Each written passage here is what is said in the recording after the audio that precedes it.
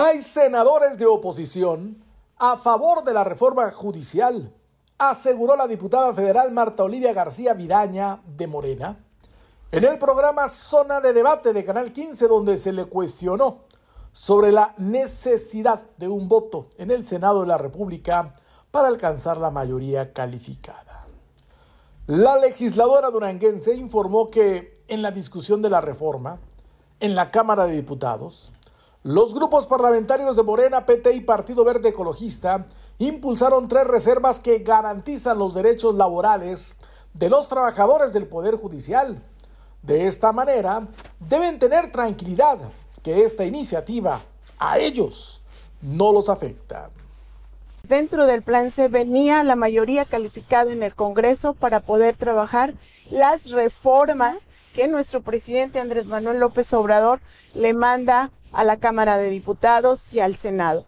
Nosotros estamos cumpliendo con el pueblo y para el pueblo, estamos respaldando, porque se dice, son unos mentirosos. Claro que no.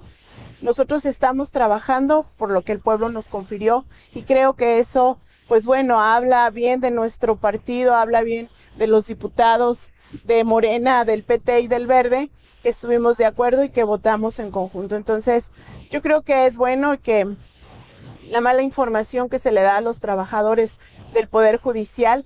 Tienen esta nueva, ya lo saben, porque se les informó, lo estuvieron viendo, que son tres reservas en favor de todos los trabajadores del Poder Judicial, que no se les quita sus prestaciones, que no se les daña a los, a los, a los trabajadores.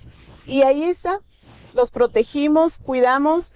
Y bueno, pues yo creo que esto sí es eh, donde les va pues en el bolsillo. En el bolsillo. Para noticieros de Canal 15, reportero y conductor Antonio Gaitán, camarógrafo y productor Luis Antonio Flores.